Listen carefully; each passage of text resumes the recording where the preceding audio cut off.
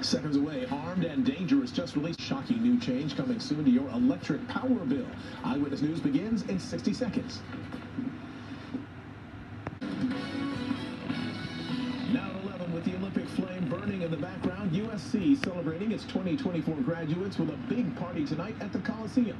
The university taking a different route after canceling its main graduation ceremony following recent protests on campus. Eyewitness News reporter Shayla Girardin live tonight in Exposition Park with the unique event. Shayla.